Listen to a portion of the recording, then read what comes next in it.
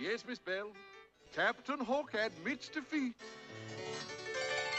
Tomorrow, I leave the island, never to return.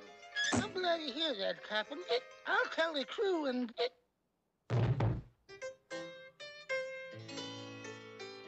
And that's why I asked you over, me dear. To tell Peter I bear him no ill will. Oh, Pan has his faults, to be sure. Uh, bringing that Wendy to the island, for instance. Dangerous business, that.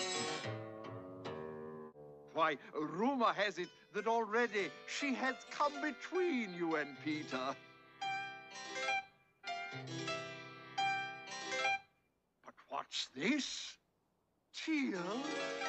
Then it is true. Oh, Smee, the way of a man with a maid.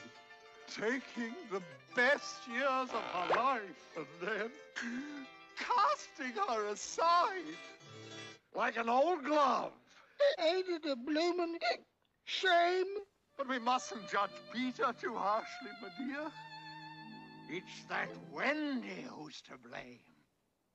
Mr. Smee, we must save the lad from himself. But how?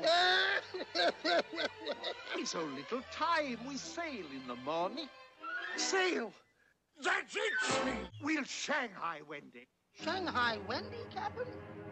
Take her to sea with us. With her gone, Peter will soon forget this mad infatuation. Come, Smee. We must leave immediately. Surround Peter's home. But, Captain, we, we don't know where Peter Pan lives. Great Scott, you're right, Smee. What's that, my dear? You could show us the way? Why, I never thought of that. Take this down, Smee. Captain.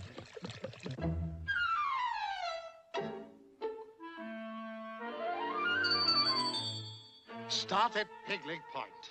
Start at Peg Leg Point. 40 paces west of Blind Man's Bluff. Blind Man's Bluff. Yes, yes. Hop's given a jump across Crocodile Creek. Then, no by northeast. One, two, three. Well, get on with... Continue, my dear. I mustn't harm Peter. Madam, Captain Hook gives his word not to lay a finger or a hook on Peter Pan. Ah, Hangman's Tree. So that's the entrance to his hiding place. Thank you, me dear. You've been most helpful.